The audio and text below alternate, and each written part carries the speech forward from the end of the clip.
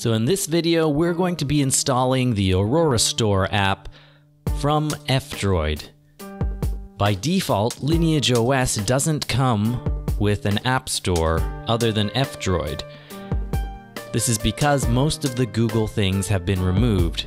So if that's your goal to avoid using the Google apps, then this is what you want to be doing. So first open F-Droid. Once you open F-Droid, it will have to update the repositories.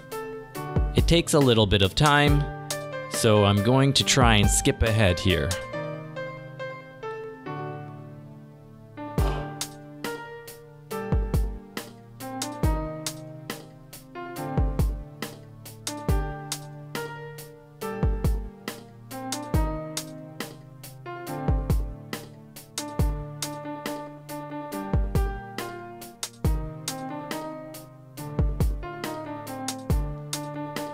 Once all the apps are up to date, you can then search within F-Droid for Aurora Store.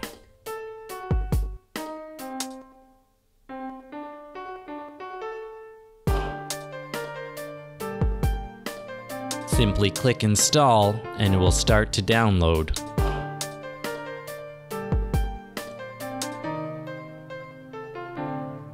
Once it's installed, you can open the app, but there are a few settings you have to do in advance. So I'm going to go through that with you.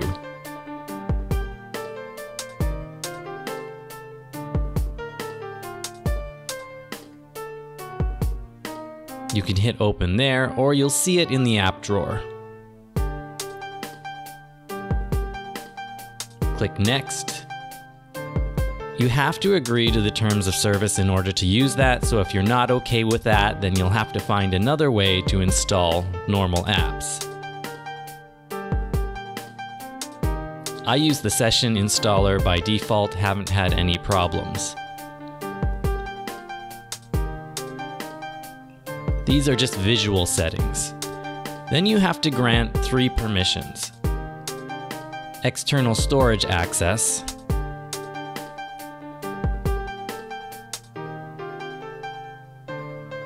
the ability to manage files. You hit back, and installer permissions.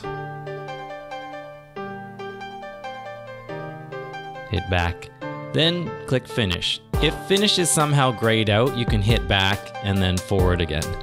So here you're given the option to use your own Google account or an anonymous Google account. I usually like to use the anonymous Google account just to prevent more tracking.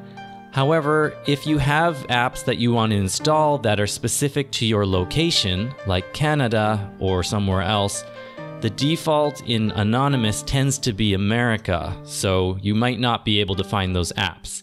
In which case, you can log in with your account, install those apps, and then change back to Anonymous mode.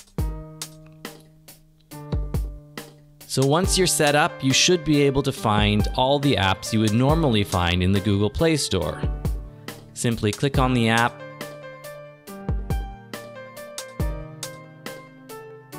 and install.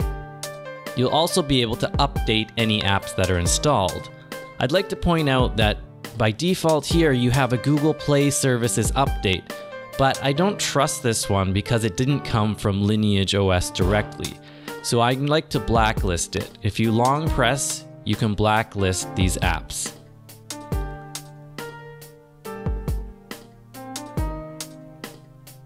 So now let's go ahead and install an app. Simply tap, press install. Once it's downloaded, it should prompt you to install via the OS installer.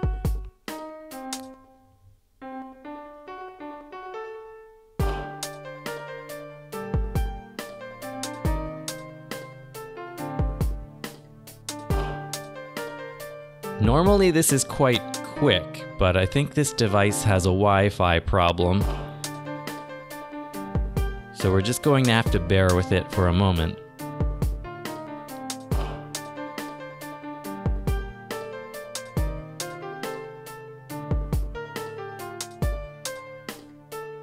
So the installer prompts you to install, hit install, and now the app's right there. You can open and use the apps as you might normally do from the Play Store. So that's the basics of installing apps on Lineage OS or Lineage for Micro G. To uninstall, just like so. You can also update again any apps that are installed, they'll show up here. Thanks again for watching, and see you next time.